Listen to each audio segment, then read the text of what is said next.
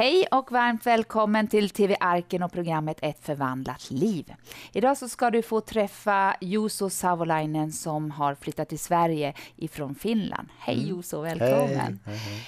Vi, vi sitter i en studio, Ja, nämligen Arkens studio. Härligt, det här är din, eh, din hemmaplats Ja, nästan. verkligen. Här, här jag känner mig hemma och här, här spenderar man mycket tid faktiskt. Ja. Eh, Du ska få berätta idag en del av allt det som Jesus har gjort i ditt liv. Och du kom hit med din familj och flyttade hit som 14-åring ifrån Finland. Mm. Ja. Och sen så småningom har du också gått bibelskolan och du ska få berätta lite om allt det här som har skett i Mm. ditt liv. Eh, en hel familj, ni var tre syskon, eller Mm. är tre syskon, tre bröder, flyttar till Sverige ifrån Finland och Precis. ni kunde ingen svenska. Nej. Nej. Berätta vad, vad som gjorde att ni flyttade. Ja, då var det, vi, vi bodde i Jyväskylä då, i, i en väldigt finsk stad mitt i Finland då, och, och eh, livet lekte, det var härligt liksom, man, man bodde där liksom, jag hade aldrig flyttat förut heller liksom, jag hade bott i samma hus i, i hela mitt uppväxt kan man säga. Och, och det var liksom, eh, man hade sina kompisar, sina grannar, man var, man var verkligen liksom hemma där. Och, och sen var det en, eh, det var en, eh, en sommar då liksom. Och jag vet inte hur, hur min pappa då fick det här. Han var på någon, någon, något möte eller någonstans och fick höra om marken liksom. Och, och sen släppte han bomben någon gång där liksom under sommaren. eh, Att, att, att han ville gå bibelskola, att, att, det, att vi ska flytta till Sverige liksom. Och liksom då, då, då kändes det först liksom wow, wow, wow. Liksom det, vi kan inte flytta till Sverige liksom härifrån liksom. Och, men, eh, men sen, sen flyttade pappa liksom först liksom under hösten och, och eh, mamma och, eh, och jag och mina två yngre bröder vi var kvar i Finland liksom fram till lite innan jul då och eh, då flyttade vi resten liksom. Och, och, Men ni var frälsta allesammans, med en kristen familj så att säga. ja, vi, vi, vi var, ja, vi är fortfarande en, en kristen familj alla, Mm. alla är frälsta och så liksom. Och, och. Men hur, hur, alltså du var 14 år, var mitt i tonåren, då Ja. går man ju igenom en kris i sig Ja, nästan visst. och allt som händer då. Och sen hade du två Ja. yngre bröder. Alltså hur, hur agerade ni? Vad gjorde ni? Ja, det var ju liksom så här, man hade sina fotbollsklubbar, sitt, eh, sitt, eh, ja, sina kompisar och, och eh, det var ju lite liksom, visst var, var man lite upprorisk liksom, det kommer ju inte gå liksom, jag kan ju inte språket, jag kan inte landet, jag kommer lämna er liksom och, och sådär. Sen sa ju pappa, ja men vi kommer stanna ett år bara liksom och sen till nästa sommar så är vi tillbaka. Vad var det som gjorde att ni tog sen själva steget? Hur vågade ni?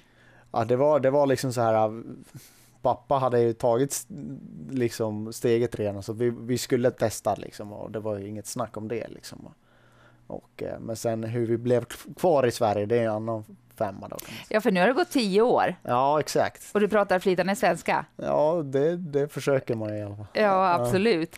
Och du eh, gick in, alltså du måste ha börjat, eller högstadiet, eller hur? Mm, ja. Ja, hur gick det då? Var det svensk-finsk skola eller hur funkar det? Och då, som tur så då, i Upplands Väsby så fanns det en, eh, en, eh, en vad heter det, Sverige-finska skola heter det och eh, en skola i, i Sverige som där man kan eh, lära sig alla, alla ämnen på finska då med finska lärare och så och, eh, och där bör, hoppade jag in i mitten i åttan då så då hade jag åttan ut och nian på mig och lära mig svenska inom gymnasiet. Och, eh, och det var en, en brutal utmaning liksom för mig liksom som kunde knappt språket. Liksom. Jag kommer ihåg, liksom, vi kom till Arken och, och liksom hälsade på några, liksom, bland annat Erik och Jonathan och så. Så man kunde inte kommunicera. Liksom. Det var liksom, man ville ju prata och hålla på liksom, och snacka, men det, det var svårt. Jag tänker, du är ju lovsångare och vi kommer att komma in på det också Mm. och att du producerar lovsång och, Ja. och skriver sånger och Mm. är med som lovsångsledare Mm. idag. Men kunde musiken vara som en, en bro, en brygga på något vis? Lite Kommunicera grann. genom det? Visst, visst kunde det vara lite grann det och, och sen samtidigt sporten liksom. Man, när man spelar fotboll och innebandy så då behöver man inte prata så mycket utan då spelar man bara och då har man kul. Och, Ja. Eh, vi ska gå lite eh, fort fram här då, för du kom Mm. ju sen till gymnasiet. Jag vet att du gick gymnasiet på Livets Ord i, Ja. i Uppsala och så vidare. Och eh, sen så började du på Bibelskolan, Jesus Mm. helar och upprättar. Var det självklart för dig att, att gå den vägen? Pappa hade ju gått den vägen. Precis. Man såg ju, pappan hade ju gått bibelskolan och mamma hade gått upprättelselinjen. Och, och, eh, så man såg, man såg ju frukten av, av det självklart. Och, eh, och sen, sen kände man ju att det är, det är en så stor grej att ta en hel familj till Sverige och flytta hit på grund av bibelskolan och på grund av församlingen, arken liksom. Och, och då såklart även man, man var ung och, och hade gått gymnasiet på Livets Ord så ville man ju liksom själv testa liksom. Okej, okay, är, det här så värt det liksom och så här? Och, eller är det här, ja, ger det någon frukt alls liksom? Mm. Och man var ju själv frälst och man var ju själv eh, liksom så, man hade inte gått igenom några värsta dramatiska grejer, så hade man inte gjort. Men, mm. Men man ville ändå bli rustad och, och eh, få det samma som mina föräldrar hade fått. Och. Mm. Så då, på, på något sätt var det ju självklart jag valde arken och, och, och liksom på, för, för där kände jag mig hemma verkligen och, och gör det fortfarande.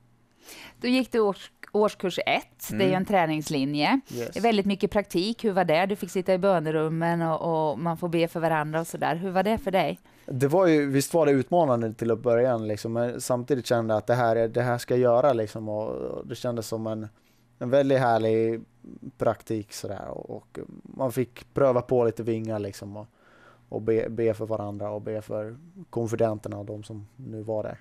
Mm. Men sen blev det en fortsättning. Du har gått både tvåan och eh, trean och jag vet att det är ju en ledarutbildning mm. i, i tvåan. Var, var, det steget, var det nära till det steget att gå vidare eller tänkte du precis som med flytten till Sverige att det blir bara ett år? Ja, precis. Jag, jag, jag kände faktiskt så att ja, äh, det är ett år, det är det liksom. Då, då, då får man göra något annat liksom. Man hade planen på att plugga kanske och göra andra grejer och spela ute och ha band och grejer.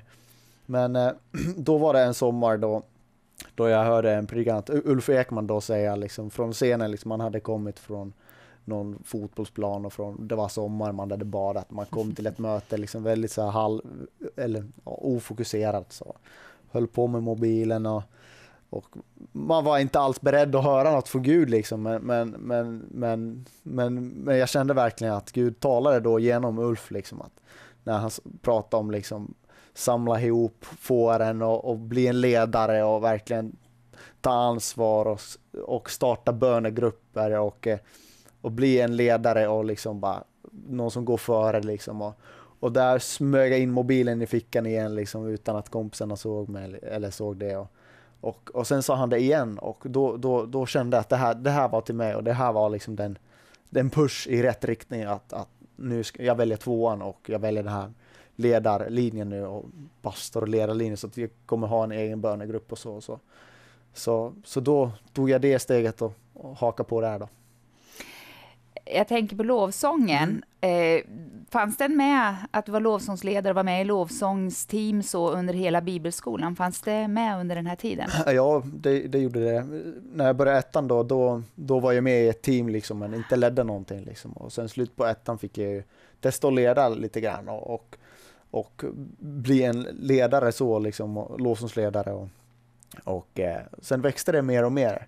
Och eh, under årskurs två så då, då, då var jag redan i den rollen, liksom ledde lovsång och bland ungdomarna också i, i stora möten och konferenser så fick jag testa och det, det kändes bara härligt liksom. Det var jättekul och, och jag kände att det här är det jag ska göra liksom bland annat. Mm.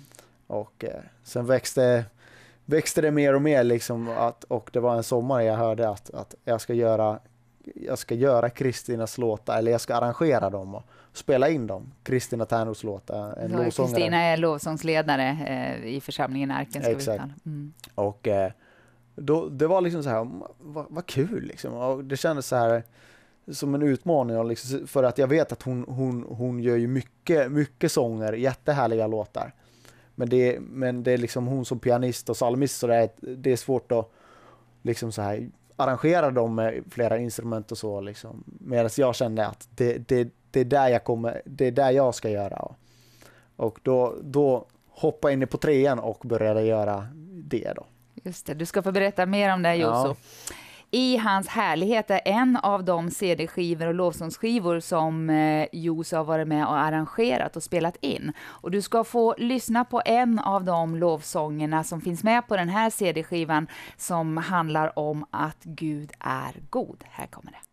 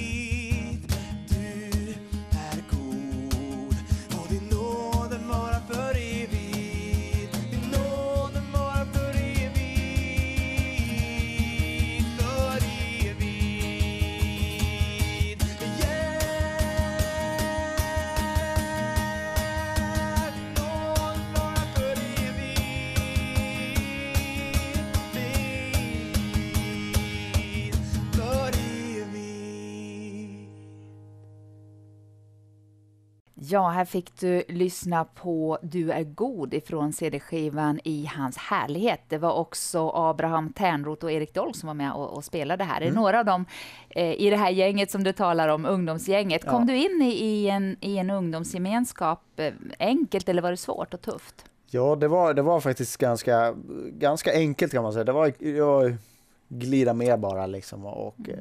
Eh, man, det är mycket musik och sport som eh, som eh, förenar ungdomar kan man säga. Mm. Så det var härligt att komma in, in med som en finsk person från Finland sådär rakt in.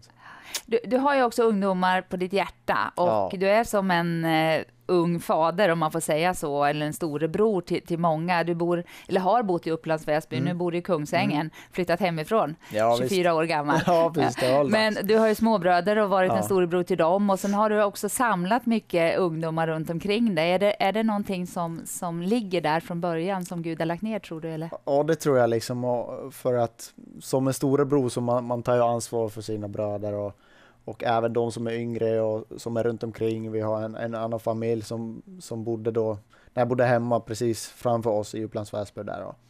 Och, eh, så det var väldigt naturligt att jag, jag samlade dem runt omkring mig och sen gjorde vi grejer, spelade och eller, eller höll på med musik och, och gjorde sådana grejer. Så det, så det ligger väldigt varmt om hjärtat och det var ju också en del liksom när man skulle flytta hemifrån liksom. Hur ska det gå för de här nu då, kände man liksom. Och, så, men det har ju gått bra, liksom. de har ju fått komma och hälsa på och, och även jag har fått hälsa på dem och sådär. Mm, de har fått klara sig utan dig Ja, det har de verkligen fått göra. Men Josef, sen började du trean. Ja. ja vad, då kan man ju också välja, det är ju ett, ett år där man får arbeta som ledare men har en handledare vid mm. sin sida. Mm. Vad, det blev alltså lovsång för dig som mm. inriktning. Eh, men rent praktiskt, vad konkret fick du göra på årskurs tre?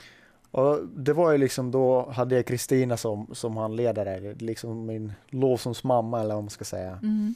Så det, det, var ju perfekt liksom och, och, rent konkret så, så vi hade en, några gånger liksom under hela perioden där hon kom med låtar som hon spelade in lite enkelt med piano och sång som jag då fick lyssna och, och ta dem och eh, arrangera om dem så som jag kände för liksom. Och, och då rent konkret satt jag här i studion och eh, hade gitarrer, gitarrer av olika slag och trummor och bas och instrument och, och, och sådär. Så, så då skapade jag det liksom. Jag hade stommen, jag hade låten. Så jag, jag gjorde allt runt omkring då kan man säga. Är det du som har byggt upp studion? Vi sitter här med en massa, jag känner ju inte igen all den här tekniken, men jag ja. kan bara kalla det, klumpa ihop det och kalla det för teknik. Men är ja. det du som har byggt upp alla mixerbord? Ja, det kan man säga. Det, det fanns ju lite grejer innan såklart, som fanns i det här liksom, men det är väl bland annat jag som har fått mm. samlat ihop allt som behövs och allt som krävs för att kunna spela in på ett bra sätt. Ja, här har ni spelat in flera, flera lovsångs CD. Precis, det är här, här det händer. Det här det händer. Ja. eh, det är ju en eh, ledarträning, både tvåan och trean då förstås, men, mm. men alltså hur andligt sett, Mm. Alltså du kan ju hantverket, som jag säger. Du, är, du har fått de musikaliska gåvorna mm. och, och, du kan både spela in tekniskt också, mm. kan du dem, du kan ljudbiten och så mm, vidare. Mm. Men andligt sett då, det måste ju även vara en andlig strid där. Kunde mm. du känna av den delen under årskurs tre? Ja, det kunde jag. Och liksom, uh, man kunde även känna det här, liksom, vart församlingen är på väg liksom, och, och vad, vad som pågår i församlingen. Och, uh, jag, jag, kände väldigt starkt det här liksom, att vi, vi unga, och vi, vi, vi som små och vi som gamla, vi som unga, vi som vuxna, vi ska prisa Gud tillsammans liksom, och, och vi ska lyfta varandras gåvor, det som vi har. Och det var väldigt härligt just med Kristina, hon som, som då är äldre, som, men ändå att jag såg verkligen det hon hade fått från Gud, att jag kunde lyfta upp henne och hon kunde lyfta upp mig. Så det var verkligen härligt. Och det, det, det kunde jag känna liksom rätt andligt, att vi kunde vara ett exempel för, för många runt omkring. Att vi, att vi, vi verkligen vi jobbar alla mot ett och samma mål. Liksom. Och, och vi vill se att Gud, Gud rör vid människor liksom, genom musiken, genom låtarna, genom lovsången. Liksom.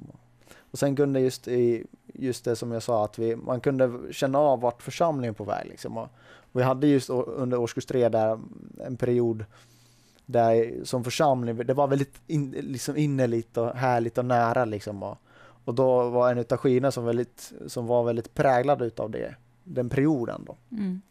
Jag ska visa den. Mm. Du är nära där ska jag sätta den. Du är nära heter den lovsångsserien. Fantastiskt härlig. Den här lyssnar jag jätte, jättemycket på. Den för oss verkligen nära Jesus. Och sen mm. har du ytterligare en, This is a miracle, som också du har varit med och arrangerat. Precis. Jag tycker det här är väldigt starkt och vackert, det som du beskriver. Och det, det är så mycket Gud i det också, att, att nästan som att hedra sin fader och sin moder. Mm. Att Kristina Tenros som har varit här som lovsångsansvarig i många, många år och lovsångsledare och som har fått så många sånger. Mm. Och där har ni lyckats med en liten ungdomlig touch så här och, och, kunna lyfta upp det på det sättet. Ja. Och så samtidigt har Gud också fått, fått lyfta upp er och, och mm. till en, både en, en, synlighet, inte för att ni ska bli synliga, utan för att Jesus ska bli förhärligad och han ska bli, bli synlig genom er. Ja. Ni, ni för, lovsångarna för ju oss som församling inför nådens tron. Mm. Och man känner ju varje gudstjänst hur, hur, hur viktiga ni är och man mm. är så mm. otroligt tacksam ja, för det. Och sen det här älskar jag också det här med generationerna emellan, att vi ja. står tillsammans.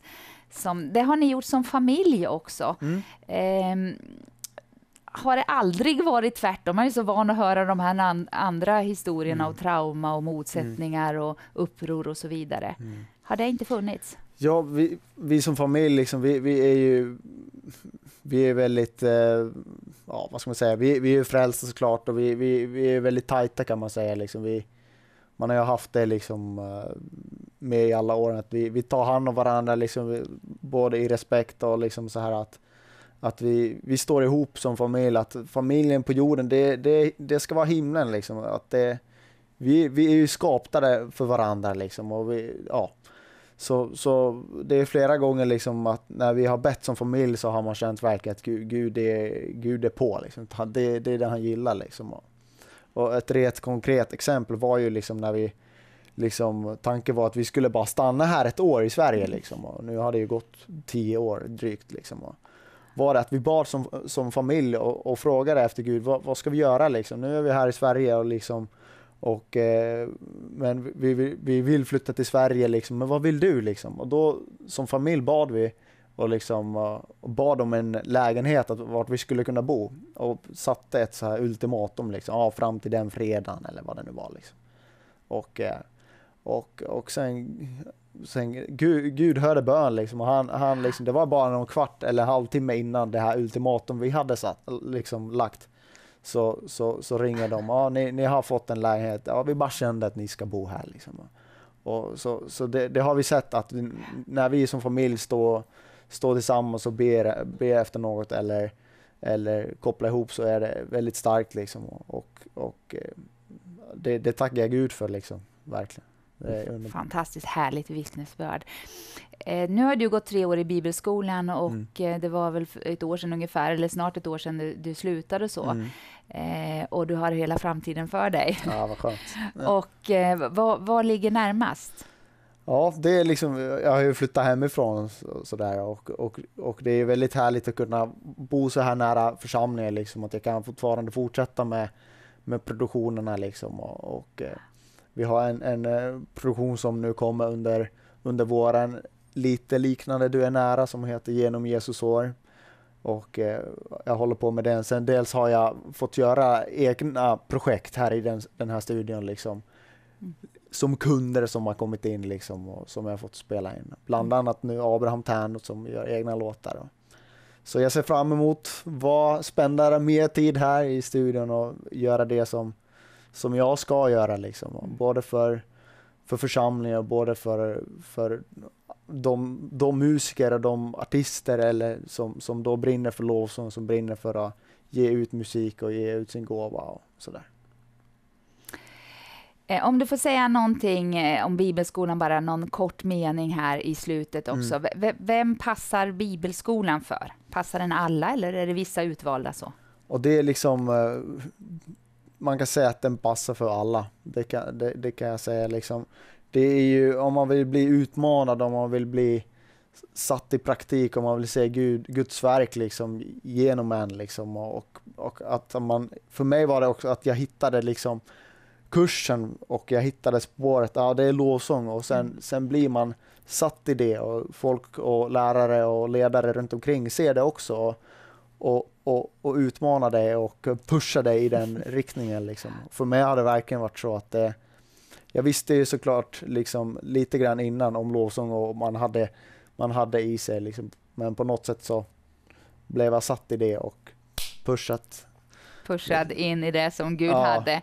Härligt! Tack ska du ha Juso, mm, det här var väldigt väl. inspirerande. Så gott att få höra ett vittnesbörd också där det inte har varit en massa trauman och så vidare. Gud leder oss på olika sätt och eh, här har du fått höra ett exempel om hur Gud verkligen kan leda en hel familj också. Och när det gäller Bibelskolan som vi har pratat en del om idag här så finns det så mycket mer att läsa om den på vår hemsida www.arken.org.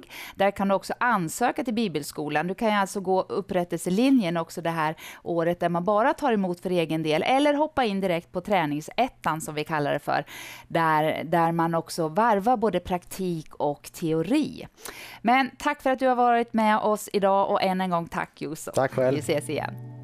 Day I meet you. Up on the clouds we